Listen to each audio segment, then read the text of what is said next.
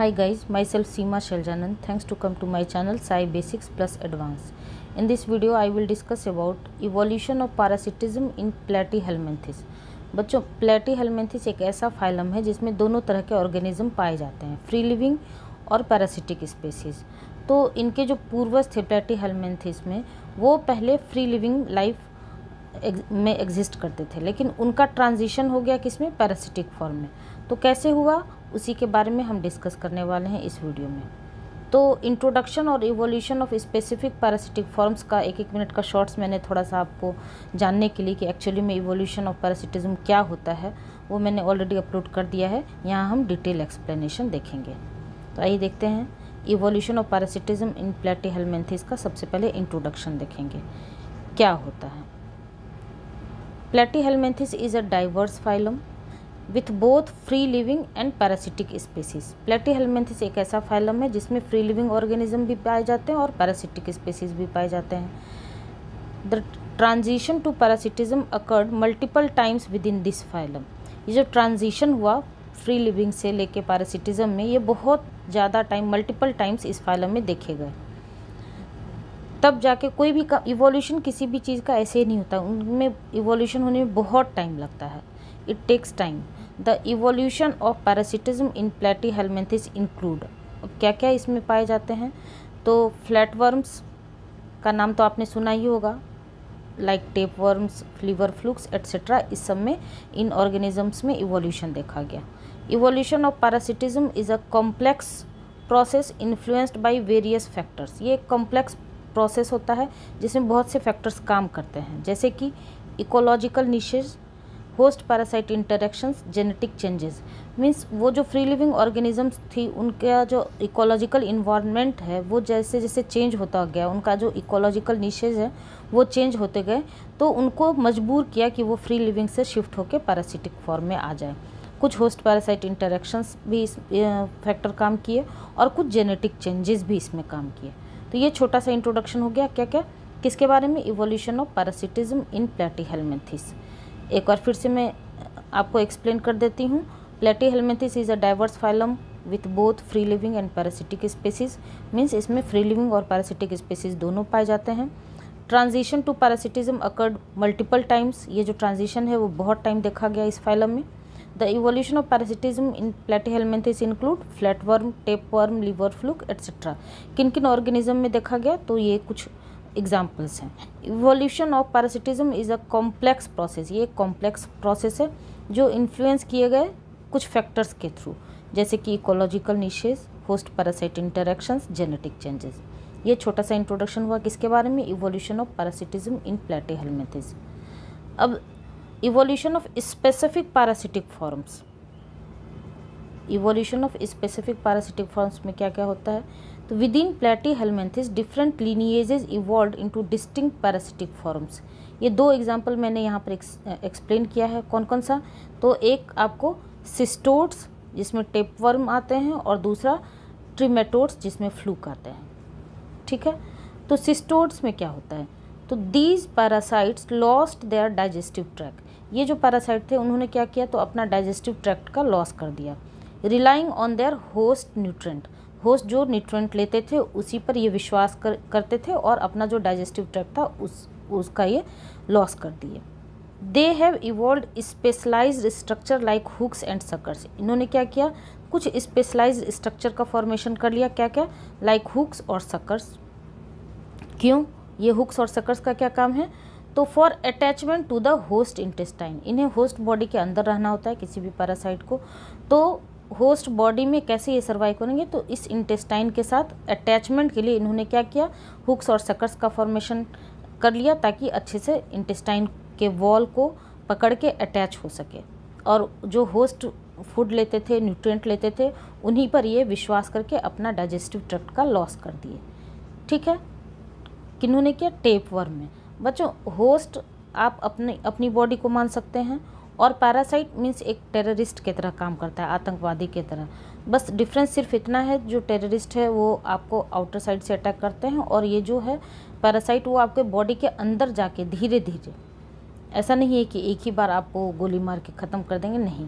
ऐसा है कि वो धीरे धीरे आप पे अपना इफ़ेक्ट डालता है। ये लीथल भी हो सकता है और लीथल नहीं भी हो सकता है। ये एक एनालॉजी हुआ, ठीक है? दूसरा एग्ज़ाम्पल हम देखेंगे किसका? ट्रीमेटोड्स का। ट्रीमेटोड्स के अंतर्गत कौन कौन से ऑर्गेनिज्म आते हैं? तो जनरली फ्लूक्स आते हैं।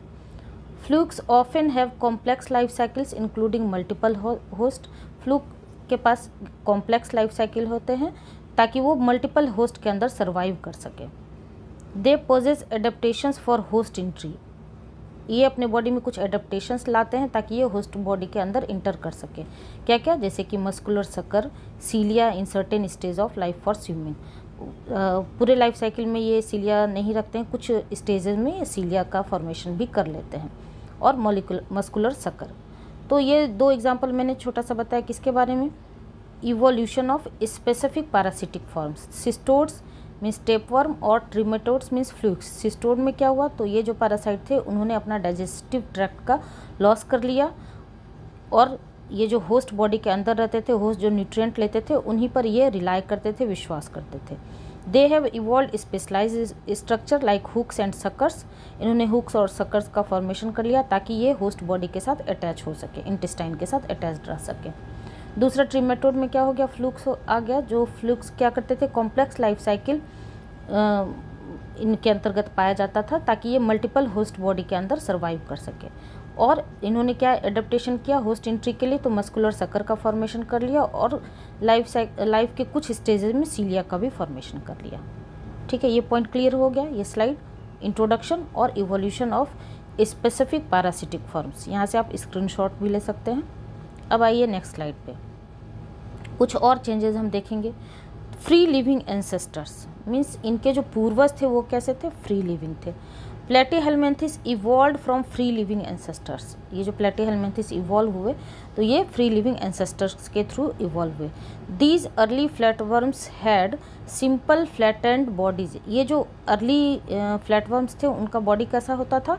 सिंपल होता था और फ्लैटेंड होते थे।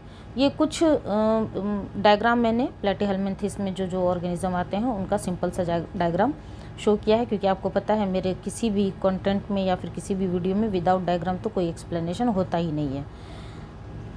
तो थोड़ा सा आपको याद रखे, रहेगा कि हाँ प्लेटी हेलमेंथिस के अंतर्गत ये ये ऑर्गेनिज्म आते हैं। ये पॉइंट क्लियर हो गया। फ्री लिविंग एंसेस्टर्स अब दूसरे पॉइंट पे आइए।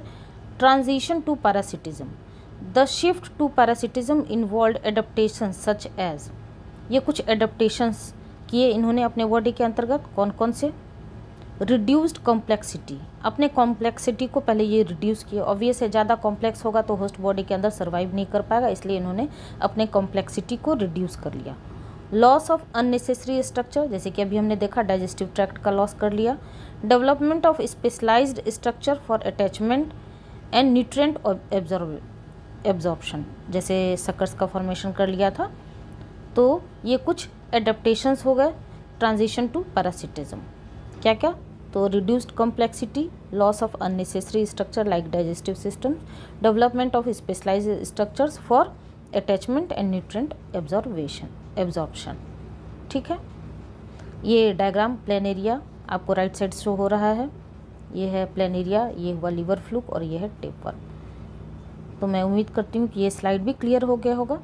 अब आइए लास्ट स्लाइड पे। Some other parasitic evolution in Platyhelminthes कुछ और भी इवोल्यूशन देखे गए हैं प्लेटी हेलमेंथिस के अंतर्गत।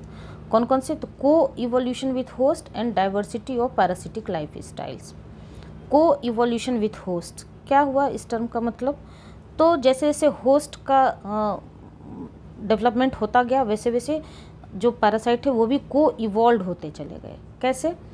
As parasites evolve they likely coevolve with their host species अगर छोटा सा एग्जांपल मैं देना चाहूँ तो अभी के जो मॉस्किटोज होते हैं, पहले हम कछुआ जला लेते थे, अगरबत्ती जलाते थे और मच्छर से बच जाते थे। लेकिन अभी इतना स्ट्रॉन्ग मॉस्किटो रिपेलेंट यूज़ करने के बावजूद भी आसपास मच्छर भटकते रहते हैं। तो जैसे जैसे होस्ट ने अपना दिमाग लगाया और अपने आप को इम्प्रूव किया, वैसे वैसे जो पैरासाइट है, वो भी अपने आप को इम्प्रूव करता चला जाता है। आज के डेट में आप कितना भी मॉस्किटो रिप्लेंट जला लीजिए, फिर भी आपको मॉस्किटो नेट का यूज़ करना ही पड़ता है। ठीक है? This coevolution can lead to integrate relationships with parasitic parasitic adaptation to their host defenses means इस लाइन का क्या मतलब हुआ? ये जो को इवोल्यूशन है वो इंटीग्रेट रिलेशनशिप बनाता है होस्ट और पैरासाइट के बीच with parasites adapting to their host defences जैसे होस्ट अपना डिफेंस मैकेनिज्म यूज़ करता है ना तो वैसे वैसे ये जो पैरासाइट है, वो भी को इवॉल्व होते चले गए। Host developing strategies to combat parasitic infection और होस्ट जो है डेवलप करे स्ट्रेटजी डेवलप किया ताकि वो कॉम्बैट कर सके किसके साथ? पैरासिटिक इन्फेक्शंस के थ्रू ये हो गया को इवोल्यूशन विथ होस्ट उसके बाद फिर क्या आ गया?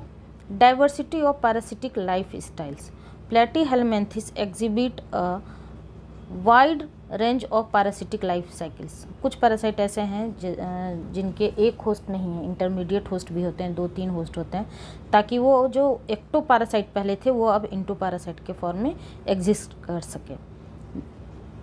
तो Platyhelminthes exhibit a wide range of parasitic life cycles lifestyles from ectoparasites that live on the host surface to endoparasites that reside inside the host body ताकि वो होस्ट बॉडी के अंदर आराम से इंडो पैरासाइट एडेप्टेशन के form में करके survive कर सकें ठीक है तो ये आपको हो गया अच्छा सा डिटेल एक्सप्लेनेशन किसके बारे में? इवोल्यूशन ऑफ़ पैरासिटिज्म इन प्लेटी हेलमेथिस तो बच्चों, आप इस तरह देख रहे हैं फ्लो चार्ट और डायग्राम के हेल्प से बहुत ही सिंपल लैंग्वेज में, जितना भी सिंपलेस्ट वे में मैं आपको समझा सकती हूँ, वो मैं कोशिश करती हूँ आपको एक्सप्लेन करने की, ताकि आपको लैंग्वेज प्रॉब्लम नहीं हो, क्योंकि आप साइंस के स्टूडेंट हैं तो अच्छे से स्मार्ट तरीके से अपने आंसर्स को एक्सप्लेन कर सकिए और कॉन्सेप्ट गेन कर सकिए। तो अगर इस तरह से आपको मेरा ये पढ़ाने का तरीका या एक्सप्लेनेशन पसंद आता हो, बच्चों, एक फीडबैक ज़रूर दिया कीजिए। अपने दोस्तों में भी शेयर कीजिए और कुछ भी सजेशन देना हो तो कमेंट सेक्शन में ज़रूर बताइएगा। जैसे एक बच्चे के, बच्ची का अभी कमेंट आया था कि मैम ये evolution of specific parasitic forms थोड़ा उसका स्पीड फास्ट है। तो बच्चों शॉर्ट्स जो होता है ना, वो सिर्फ़ टर्म को जानने के लिए होता है या फिर जब आप डिटेल वीडियो अच्छे से सुन लेते हैं तो आपके रिवीजन के लिए होता है। तो वहाँ पर एक मिनट के अंदर ही कुछ चीज़ों को एक्सप्लेन करना होता है, इस वजह से थोड़ा स्पीड फास्ट हो गया होगा। तो यहाँ से आप डिटेल एक्सप्लेनेशन अच्छे से स्लो स्पीड में सुन सकते हैं, समझ सकते हैं और वहाँ से आप रिवाइज कर सकते हैं। मिलते हैं हमारे नेक्स्ट वीडियो में, तब तक के लिए थैंक यू